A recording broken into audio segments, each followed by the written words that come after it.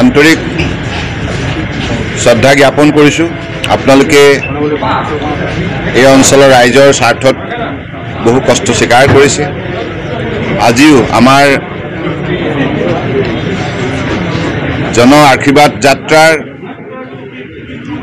এই কাৰ্যসূচীত আপোনালোকেও অংশগ্ৰহণ কৰিছে। আপোনালোকৰ আমি আশীৰ্বাদ বিচাৰিছোঁ।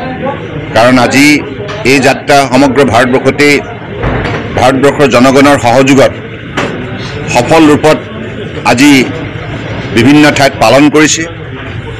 আৰু ভাৰতবৰ্ষৰ জনগণে দেশৰ মাননীয় প্ৰধানমন্ত্ৰী নৰেন্দ্ৰ মোদী ডাঙৰীয়াক হিয়া উজাৰি আশীৰ্বাদ দিছে কাৰণ তেখেতে সাত বছৰীয়া প্ৰধানমন্ত্ৰী কাৰ্যকালত ভাৰতবৰ্ষৰ প্ৰতিগৰাকী নাগৰিকৰ স্বাৰ্থত নিষ্ঠাৰে কষ্টি স্বীকাৰ কৰি ভাৰতবৰ্ষৰ এটা আমূল পৰিৱৰ্তন জনসাধাৰণৰ স্বাৰ্থত সম্ভৱ কৰি তুলিছে।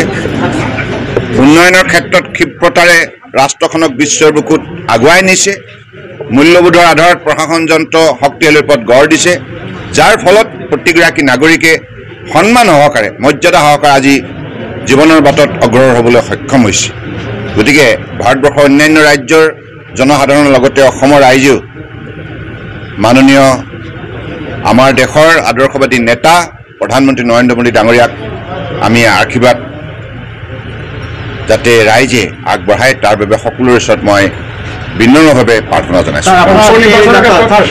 আপোনাৰ আজি এই যাত্ৰাত- একাংশ ৰাজনৈতিক দলে ইতিমধ্যে অসমৰ বিভিন্ন ঠাইত কোভিড প্ৰটকল ভংগ কৰিছে বুলি এজাহাৰ দিছে। তাৰ সমান্তৰালে কংগ্ৰেছ এটা কথা এটা কথা মই কওঁ।